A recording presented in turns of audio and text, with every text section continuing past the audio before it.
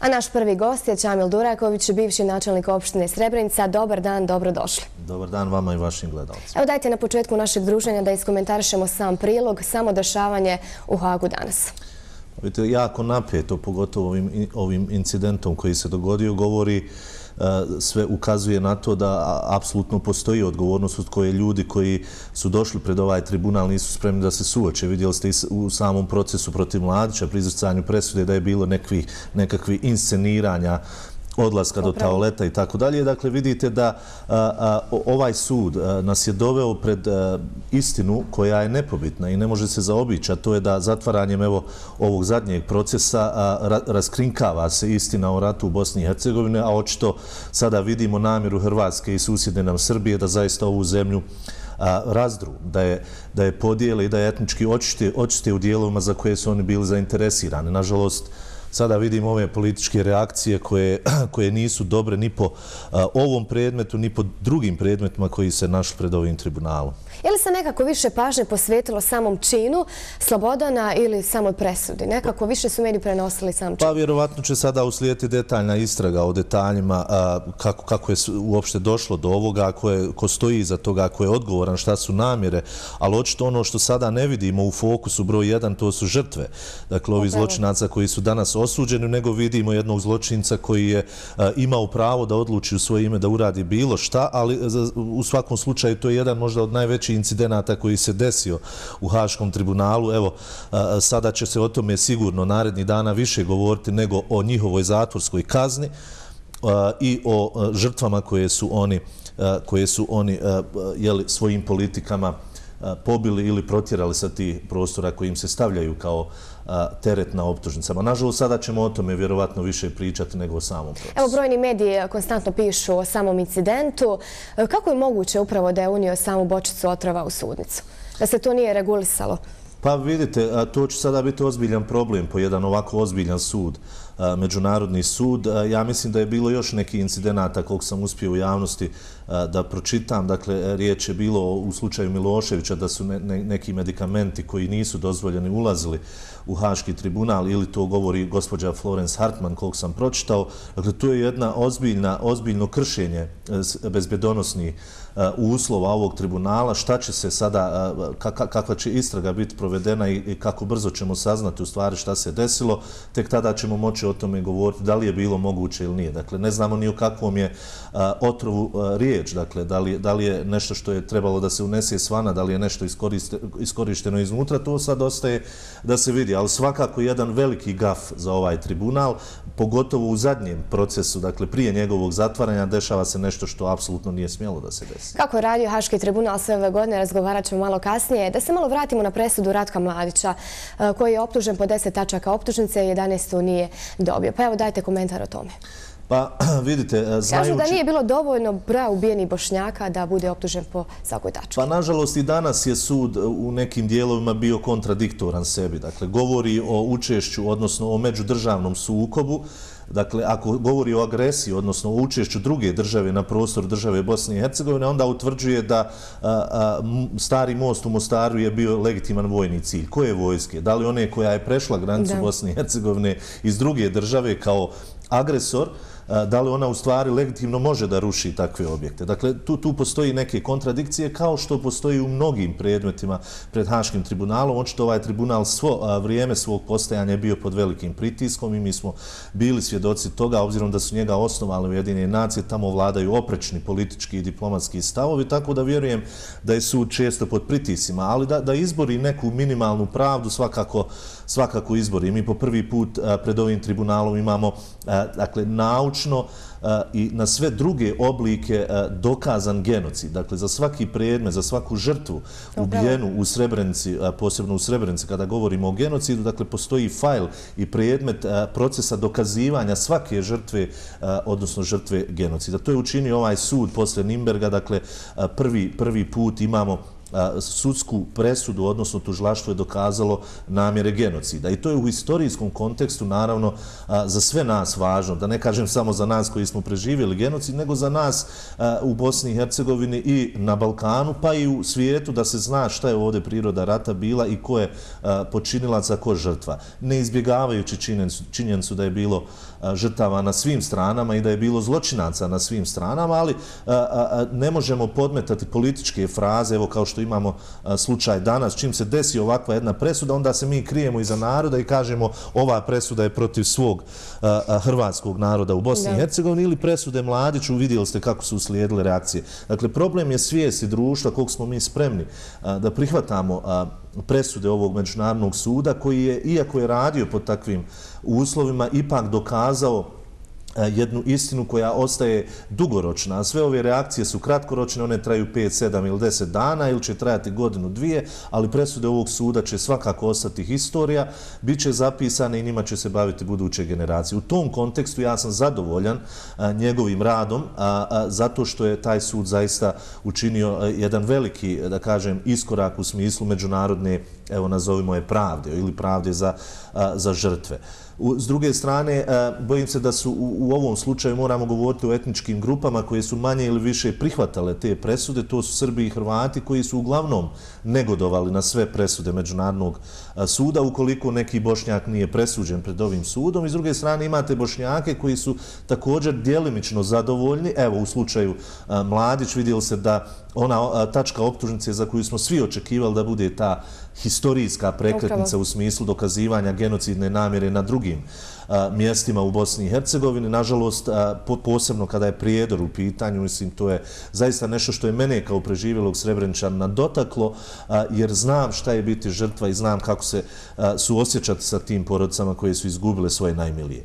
Tu i tamo on završava svoj rad, ostaje istorija da o tome piše, ali sve u svemu mislim da je u dobrom dijelu raskrinkao istinu i karakter. Možemo reći da je opravdao godine postojanja. Pa evo ja ću reći da jeste. Da, evo na dan presude Ratko Mladiću u Srebrenici i drugim eh, manjim gradovima poljepne su plakati Ratko Mladić heroj. U oči ovih presuda bile su i molitve za same zločince. Da li je moguće da još uvijek neki veličaju takve zločince govoreći da su upravo heroji? Pogotovo mlađe generacije koje dolaze, ne znajući evo pravu istinu, eh, da su to najveći heroji.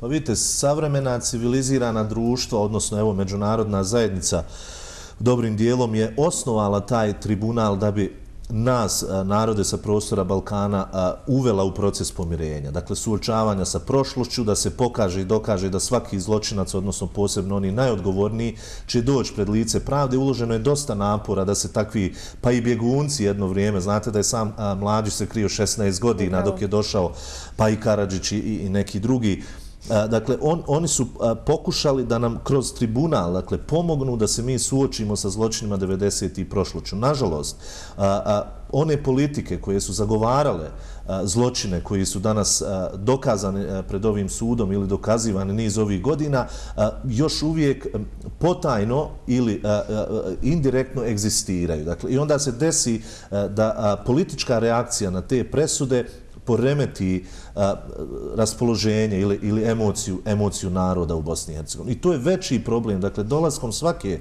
ove presude na ovom tribunalu, bila ona oslobađajuća za nekog, osuđujuća za drugog. Dakle, uglavnom dolaze različite reakcije. Ono što mi nismo kao, kao društvo, kao društva, evo ili društvo, spremni je da budemo dijelom civiliziranog svijeta, da budemo legalisti, demokratsko društvo koje neće postavljati pitanja na presude najviše sudske instancije na svijetu, odnosno e, Međunarodnog e, e, suda, odnosno koji je, koji je osnovala Međunarodna zajednica uz naše prihvatanje. Dakle, u tom periodu članice Ujedinjenih nacija su bile i ove zemlje koje sada negoduju nešto okolo oko ovih presuda. Dakle, riječ je o sudu koji je uspostavljen od svih, međutim, njegove presude, evo, desi se da bude neke emocije, da uglavnom zbog politika koje instantno reaguju na te presude, probude, probude te neke duhove prošlosti, podignu tenzije među građanima i onda se desi da je za nekog osoba koja je presuđena na doživotnu zatvorsku kaznu za najgnusnije zločine protiv čovječnosti, protjerivanje, etničko čišćenje, pa i genocid nad kraju bivaju ovaj karakterisani kao heroji. Bojim se da, da ako išta možemo dati međunarodnoj zajednici kao odgovornost i pripisati jeste upravo implementacija tih presuda i onoga što se nakon tih presuda dešava na terenu, kad kažem na terenu, na prostoru Bosne i Hercegovine ili evo, evo Balkana. To nismo vidjeli i uglavnom nismo spremni da se suočimo tome. Ovaj sud svojim presudama više nas je doveo na korak do ponovne eskalacije nego što nas je doveo na korak do trajnog i konačnog pomirenja i shvatanja da ono što se dešavalo ovde 90.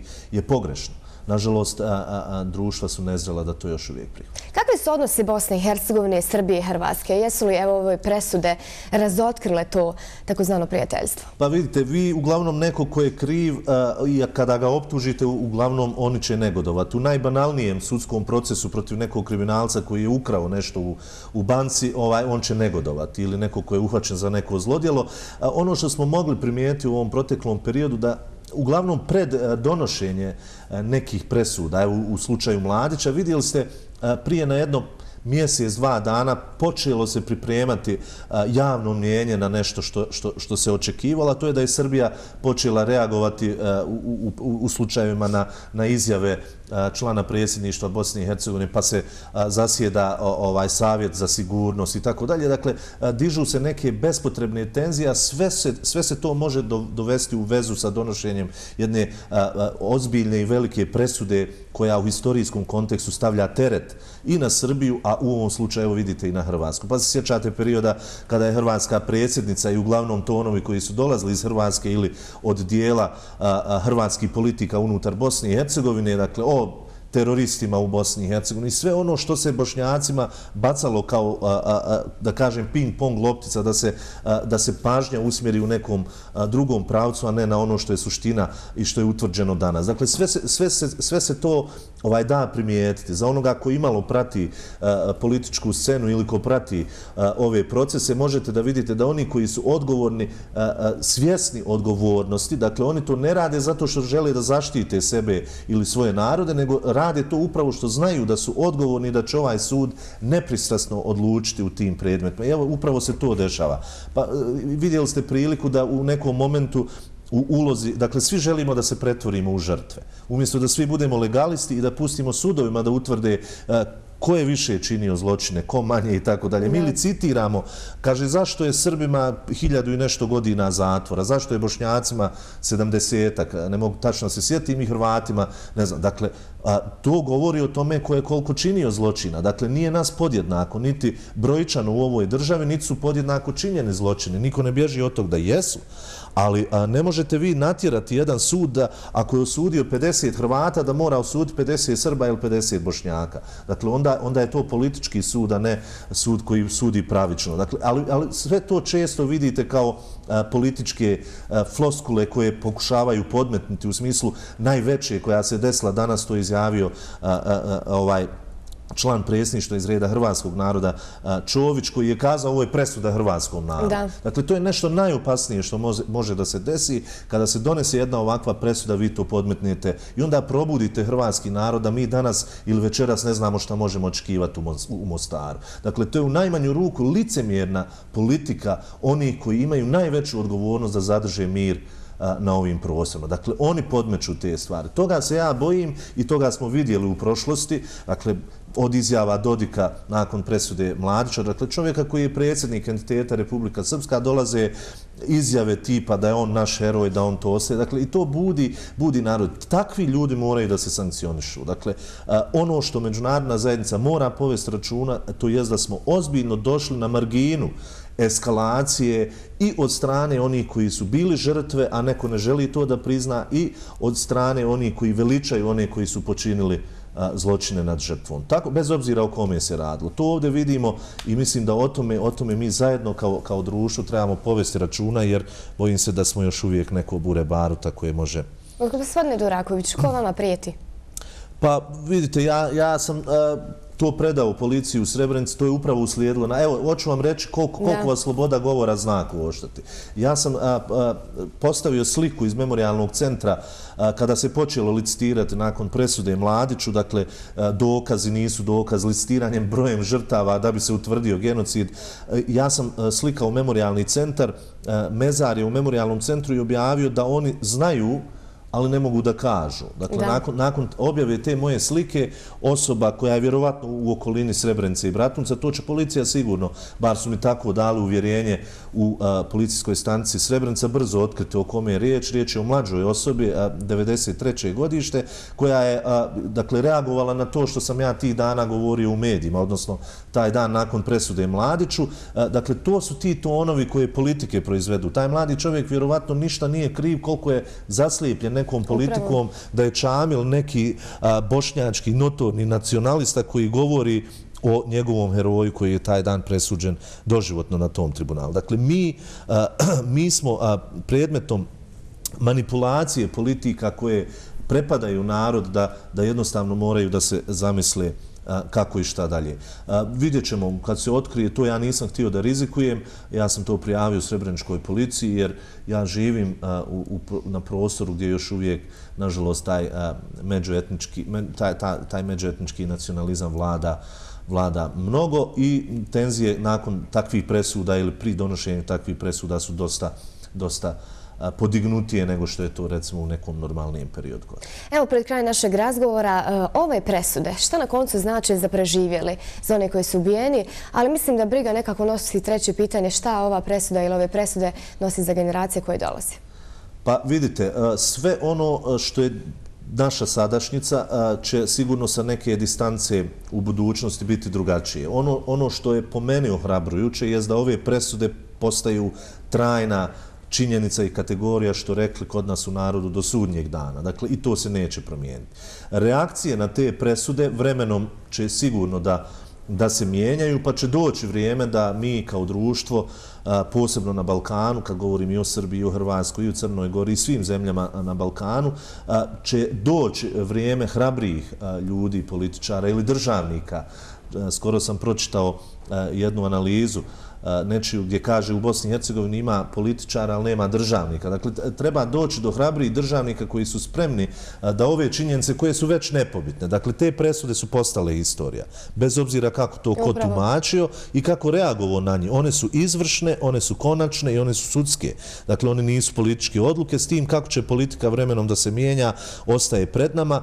Ja vjerujem da će doći vrijeme da se prošlost mora prihvati onako kako je utvrđena, odnosno bazirano na istini, a ne na patriotskom stavu ili e, na nekim emotivnim reakcijama. Bilo je vremena kad i mi nismo zadovoljni ovaj time, ali sudska presuda je sudska presuda. Bilo je i oslobađajući presuda pred ovim tribunalom osobama za koje mi znamo da su zločinci pa su danas slobodni ljudi. Ali, evo, da ne ulazim u to, trebamo biti legalisti, poštovati presude i mislim da će vrijeme pokazati da ili ćemo prihvatiti činjenice ili ćemo imati trajnu, trajnu tenziju i nećemo sigurno doći do onoga čemu svi težimo, a to je evo i Srbija, i Hrvatska, i Bosna i Hercegovina, i zemlje u okruženju. Dakle, svi pričaju o Evropskoj uniji, o NATO, o tome gdje želimo doći, a ne želimo sebe mijenjati na tom putu. Dakle, ukoliko želimo biti dijelom civilizirani demokratskih društava, onda zaista morat ćemo prije svega uvažavati pravni sistem, odnosno uvažavati presude sudova i onda možemo pričati o nekom istinskom pomirenju. Dotad, bojim se da će to sve biti politizacija i jednostavno eskalacija politička i nekakve svađe koje trenutno možemo. Na koncu, koliko toliko pravda je zadovoljna. Gospodin Duraković, hvala vam puno na izvanom vremenu za program Televizije Alfa. Što ste sa nama danas razgovarali o samoj presudi, ali presudi Ratka Mladića. Hvala vam.